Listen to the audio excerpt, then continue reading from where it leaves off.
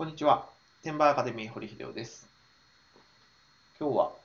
パナマ文書。ね。えーまあ、何を今更という文書なんですけど、税金に多少でも興味ある人ならね、えーセレブとか有名人、あるいは大企業が、まあ、いろんなテクニックを駆使して税金を払ってないというのはね、えー周知の事実。まあ、別に驚くようなことじゃないし、まあ、常識なんですけど、まあ、それがなぜか今、えー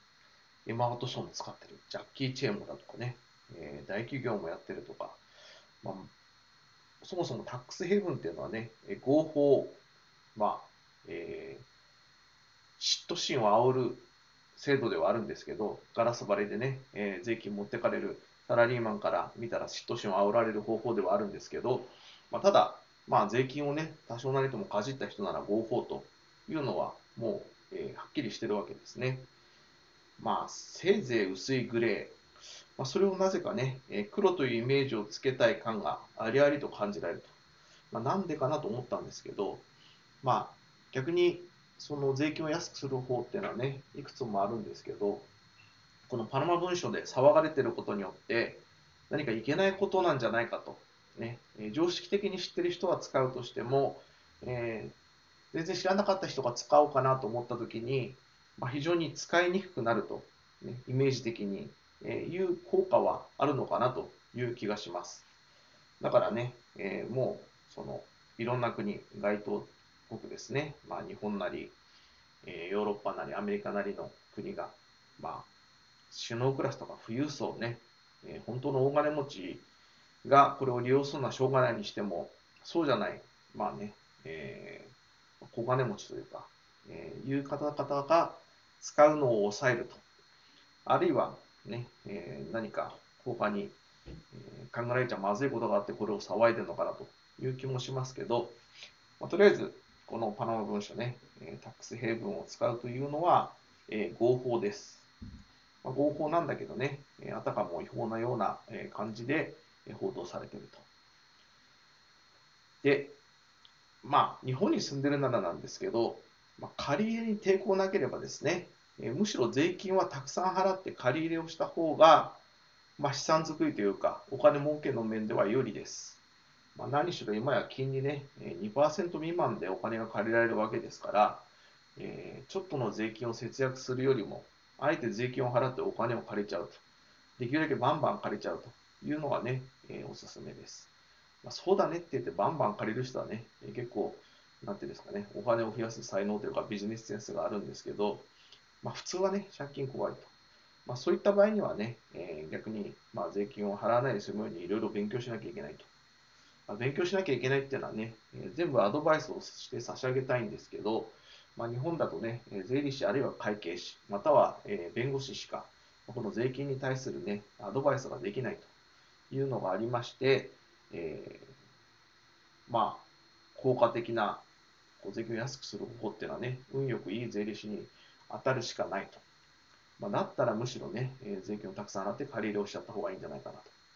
で変にね、えーこれは、え経費で出せます、出せませんっていうのね、え税理士の言うのを鵜呑みにして、え税務署から否認されるっていうのはね、いくらでもある事例なんで、まあ、何を信じりゃいいのかなと。そういうわけで、まあ、おすすめの税金に対する取り組み方は、借り入れをするために税金をたくさん払う。これが一番のおすすめ。2番目ね、えー勉強して、えーまあ、海外法人タックス成分節税ノウハウを駆使すると。これはね、税理士に、えこういうふうにやってくださいっていうふうに指示する。あるいはこういうふうにやりたいって言って、それができる税理士を探すという形しかできないんです。これいきなりね、知らない税理士に持ってっても何もできないですからね。で3番、普通にね、たまたま出会った税理士に全部任せると。これは全くお勧めできない方法ですね。ちなみに、まあ、なんでそこまでね、タック成分とか騒いで、えーいるのか。これはね、確かにね、節税方法がすごいです。アップルが先駆けとなった節税方法。ダブルアイリッシュダッチサンドイッチ。ね、えーなんか美味しそうな名前なんですけど、まあ、アイリッシュとね、えーオランダを使うスキーム。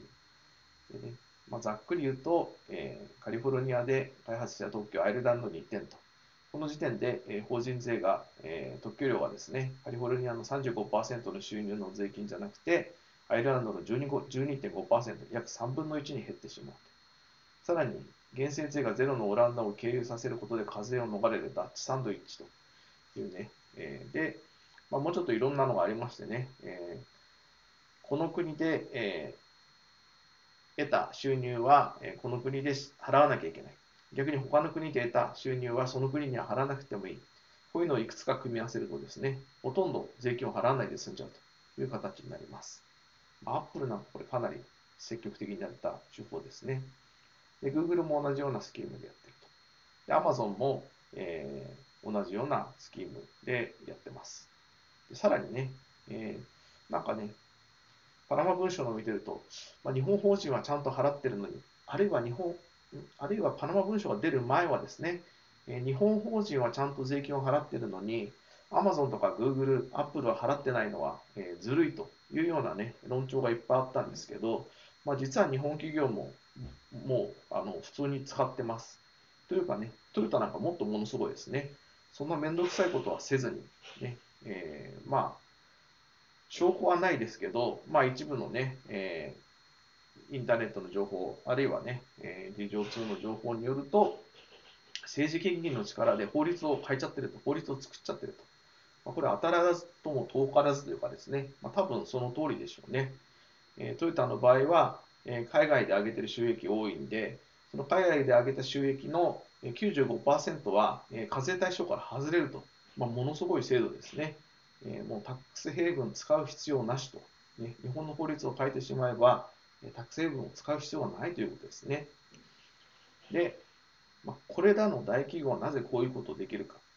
まあ、逆にアマゾンなんか、まあ、そういう話を表に出しちゃってるんですけど、気に入らない課税方法をするなら、国外に会社を移すと、ね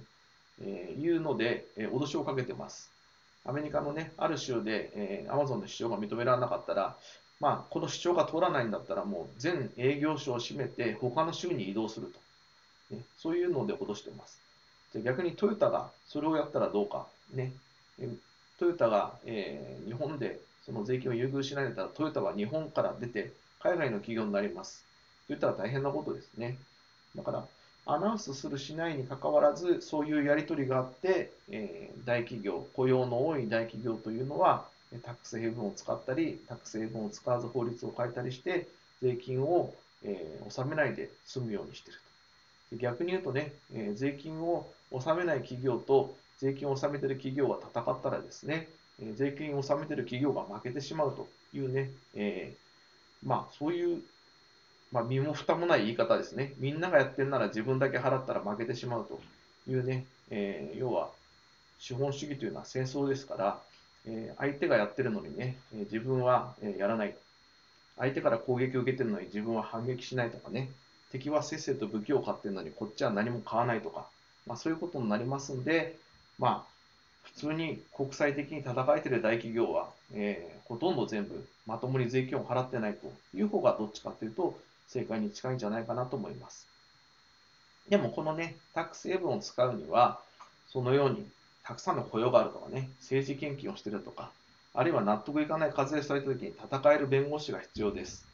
だから一般の人がね、えー、仕組みだけを真似して使えるようなもんでもないと。逆に言うとね、仕組みだけ真似して使うような方は、えー、今回みたくね、情報が漏れちゃった時に叩かれて、えー、取られるお金がある人は取られちゃう。ケースもあると。まあ、どっかの国の首相はですね、え、これで、もともとこれだけでやめたんじゃないでしょうけど、何かがあってこういうのが出ちゃうと、それによってやめることになっちゃう。人気商売の人とかは、えー、使いにくくなったなというのは間違いないです。そんなわけで、一般の人はですね、まあ、借り入れをするために税金をたくさん払う。まあ、これが一番のおすすめです。で、まあ、借り入れなんかしたくありませんと。まあ、できるだけめんどくさくないようにしたい。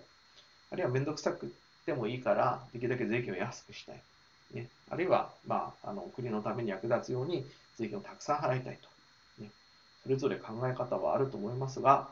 まあ、一般の人には借り入れをするために税金をたくさん払うのがおすすめ。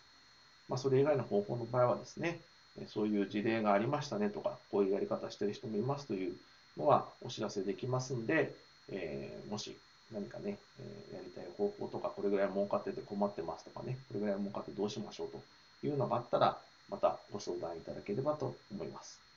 そんなわけで、